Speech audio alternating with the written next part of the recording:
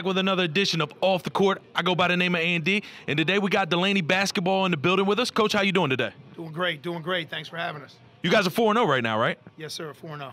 Who do you guys play up against tonight? So we got St. George's of Delaware tonight and then Neumann Goretti tomorrow night. Which match which matchup are you looking up forward to most? Honestly, we're just trying to come out here, play really good ball. Uh, both St. George and Neumann Goretti are extremely talented. We just uh, need to play the best version of Dulaney basketball we can. Absolutely. It looks like you got three Titans behind you. Introduce yourself, guys. Uh, Ryan Conway. Shay Evans. Ike Gornish.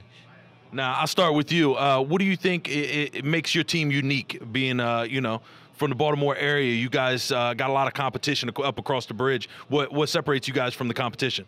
You know, I think our, our toughness, uh, ability to play together, our talent. You know, I think when we put all those things together, that's when we're at our best.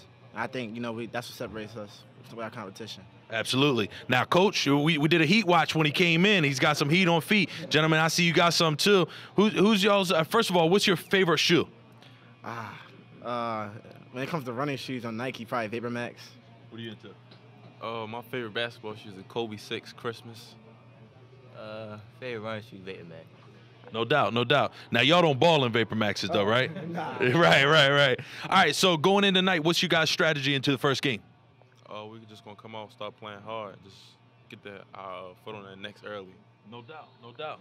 So if you guys have one thing to take away from this weekend, obviously it's an opportunity for you guys to get out of town, bond, work together as a team, and all that. And obviously you want the W's, but what are you trying to take out of this weekend? Uh, play against great competition that's not in our area and uh, take it back to where, like, back home and apply the same pressure we do here. Guys, good luck tonight. I hope to see you guys on the court a little bit later tonight, Coach. Thank you very much. I appreciate it. Off the court.